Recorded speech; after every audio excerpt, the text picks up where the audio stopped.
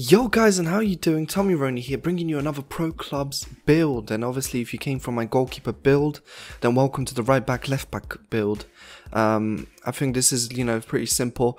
The right back and the left back are pretty similar so you know both of them you can do in the same video and you'll get the same kind of result guys. And I'll be bringing you this with kind of a bit of uh, joy and enjoyment because guys I'll be honest here Right back, left back is one of the most fun uh, positions I've used in pro clubs, and I've played so many games this year. And it's a brilliant, brilliant position, and there's so many ways to do it. Um, never go above five foot eleven, I'd say. Never go below five foot seven, I'd say. You know, it's between those, and I play five foot eight, five foot nine, depending what I want to bring, pace, um, strength, that kind of stuff. Obviously, it's not the same as six foot seven and all that kind of stuff. Guys, you don't want to make a six foot seven right back. Trust me. So, um, yeah guys around 5 foot 9 that, that kind of weight that's perfectly fine. This is the important part guys. When you make a left back or a right back make sure they're on wing back playing style because it gives you more pace and more dribbling. And you really need that. Um, the right back doesn't give you the same thing. It doesn't show up on this stat sheet either on this attribute sheet. So you will need to make sure that you put on wing back. Same if you're on the left side you want to put on wing back that will be the best option for you guys. I really mean it. Um, you'll be a lot faster and a lot better.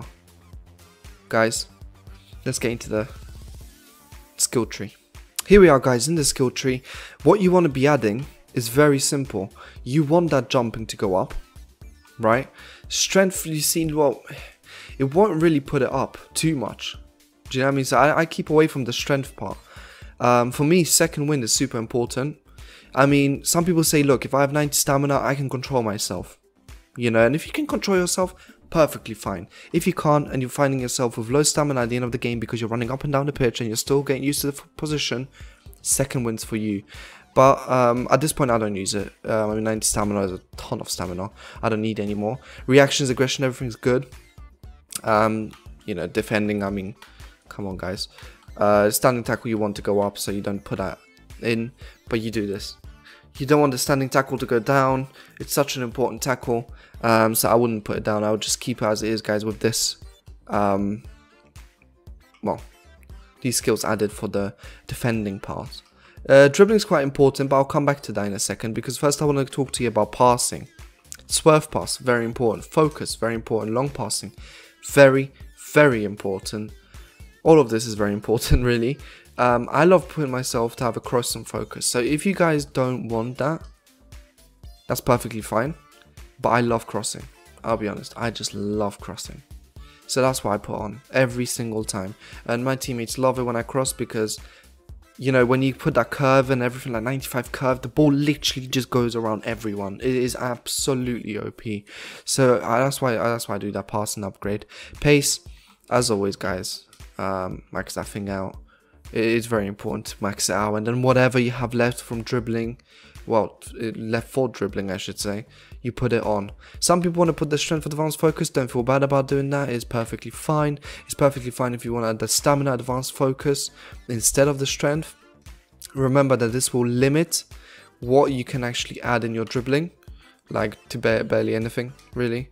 Um, then I would prioritize dribbling because that's very low Agility and balance is very important though, this is the problem in the game. So therefore, that's why I don't add this extra stamina. Sometimes I even decide, you know what, I'll take away the jumping and let's go for, the agility and balance, right? It's up to you at the end of the day, how you want to, you know, max that out, that side of things. But the last thing you do is dribbling because I really feel like, okay, yes, it is important that you're good on the ball. But, you know, if you want to be good on the ball, then put yourself 5 foot 7, 5 foot 8, you know, you'll be a lot better than 5 for 9. 5 for 9 is a really more defensive build rather than an attacking build. But that's the way to go, guys. And obviously, remember, you can also limit your crossing if you're not really focused on that in your team. If you're not focused on that, it's perfect for your dribbling because you can literally go 4-star skills even. And that's the build, guys. It's as simple as when it comes to right back, left back.